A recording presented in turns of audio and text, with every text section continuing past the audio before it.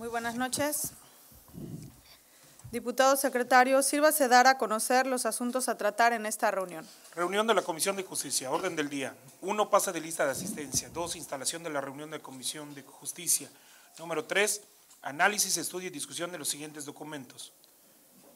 Terna de los licenciados en Derecho para la designación del cargo de consejera ciudadana del Consejo de la Judicatura del Poder Judicial del Estado de Quintana Roo por un periodo de cinco años comprendidos del 19 de enero del 2020 al 18 de enero del año 2025, presentado por el contador público Carlos Manuel Joaquín González, gobernador del Estado de Quintana Roo.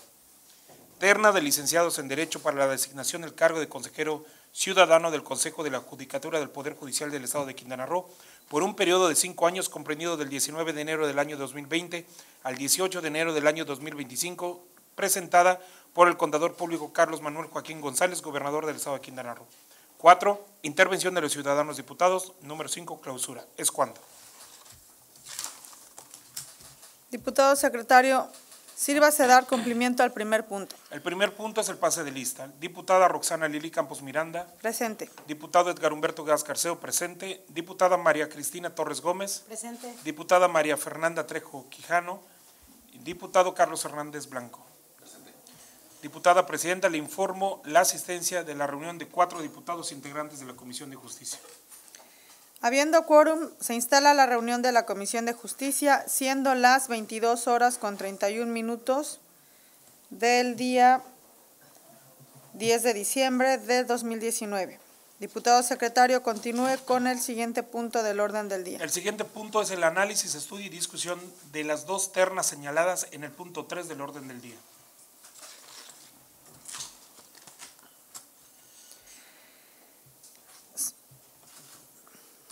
Se le concede el uso de la voz al personal de la Dirección de Análisis Jurídico Legislativo para que pronuncie su opinión técnica de los documentos en análisis.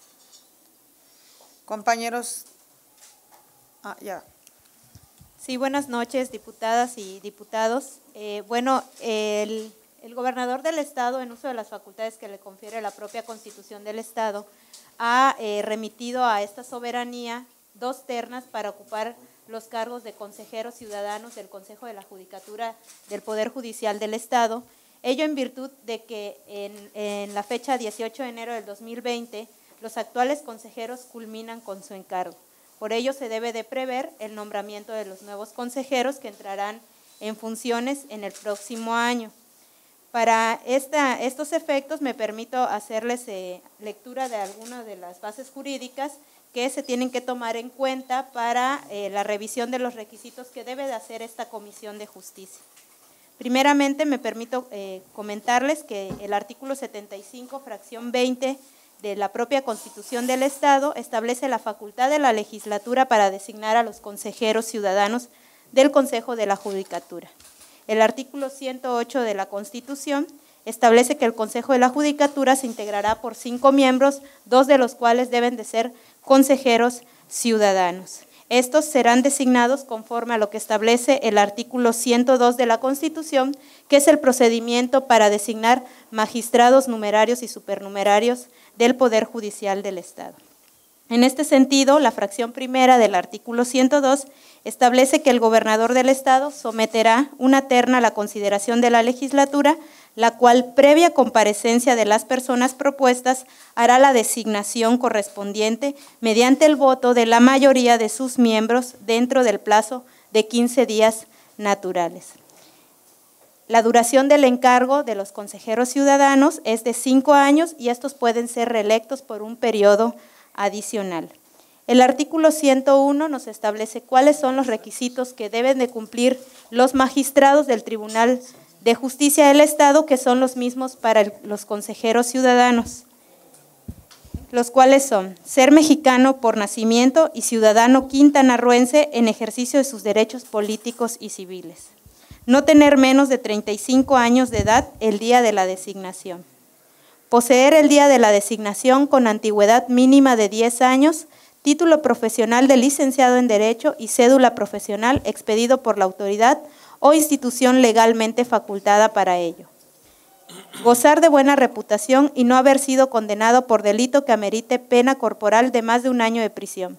pero si se tratare de robo, fraude, falsificación, abuso de confianza, peculado o cualquier otro que lastime seriamente la buena fama en el concepto público, lo inhabilitará para el cargo cualquiera que haya sido la pena. Haber residido en el Estado durante los 10 años anteriores al día de la designación. No pertenecer al Estado eclesiástico ni ser ministro de algún culto religioso a menos que se haya separado cinco años anteriores a la fecha de su designación y no haber sido gobernador, secretario de despacho o su equivalente, fiscal general del Estado, senador, diputado federal o local, ni presidente municipal durante el año previo al de su designación. En ese sentido, estos son los requisitos que deben de cumplir cada uno de los candidatos sometidos en la terna a consideración de la legislatura y a estudio de esta Comisión de Justicia.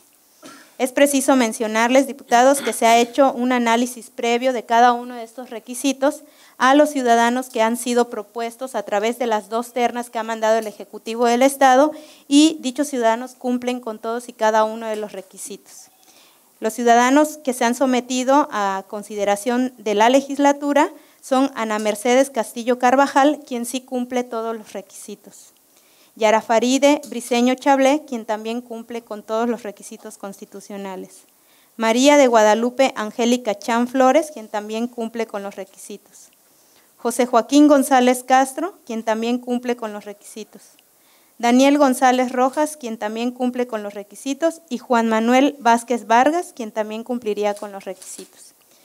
Este, bueno, de lo que determina esta comisión, en cuanto a los requisitos que se tienen por cumplidos y que se ha hecho el análisis exhaustivo de cada uno de ellos, es preciso mencionarles que se debe de prever la, la citación de cada uno de estos candidatos a la sesión del Pleno correspondiente a efecto de que estos comparezcan ante el Pleno como un requisito constitucional. Es cuanto, diputados. Compañeros diputados, ¿alguna observación, algún comentario respecto a la iniciativa en análisis?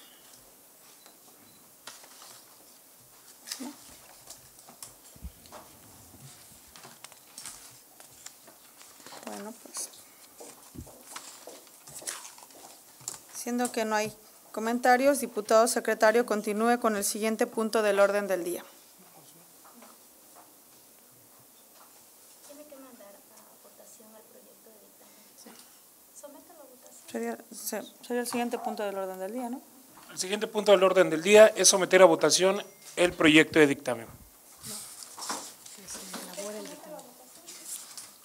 que se elabore el dictamen. La elaboración del dictamen. Diputada Roxana Lili Campos Miranda. A favor. Diputado Edgar Humberto Gascarceo, a favor. Diputada María Cristina Torres Gómez. A favor. Y diputado Carlos Rafael Hernández Blanco. A favor. Diputada Presidenta, le informo la aprobación de cuatro por unanimidad. A favor.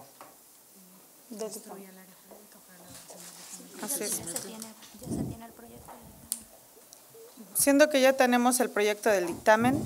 Que lo, que lo lea el presidente, el secretario. A ver. Que le dé lectura al secretario.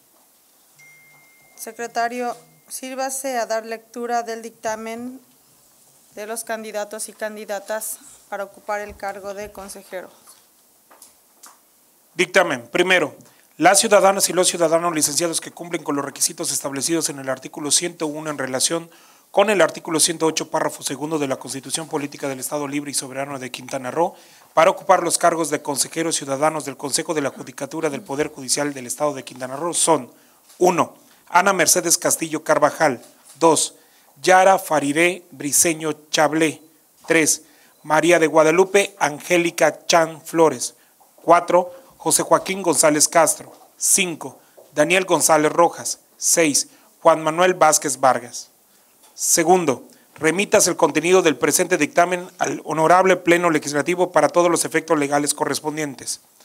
Tercero, cítese a, los ciudadanos, a las ciudadanas y los ciudadanos licenciados mencionados en el punto primero de este dictamen para que asistan a la sesión del Pleno Legislativo el día y la hora en que se determine por parte de la mesa directiva de la decimosexta legislatura del Estado para llevar a cabo la comparecencia que se refiere al artículo 102, fracción 1 de la Constitución Política del Estado Libre y Soberano de Quintana Roo.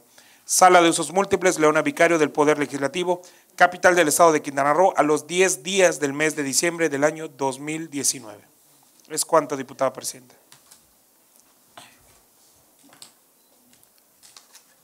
Acto seguido, sometemos a, a aprobación el dictamen que acaba de dar lectura el secretario. Se somete a votación el dictamen. eh, El dictamen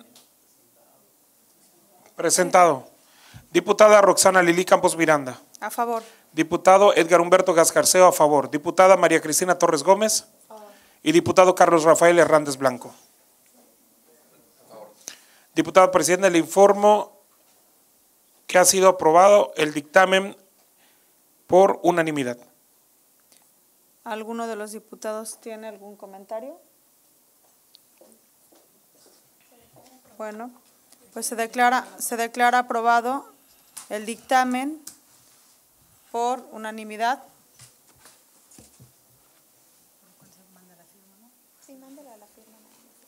Se declara aprobado el dictamen que contiene los nombres de las candidatas y los candidatos a ocupar el cargo de consejeros ciudadanos del Consejo de la Judicatura del Poder Judicial del Estado de Quintana Roo, que cumplen con los requisitos establecidos por el artículo 101 en relación con el artículo 108, párrafo segundo de la Constitución Política del Estado Libre y Soberano de Quintana Roo, mismo, mismo que pasará a recabarse la firma.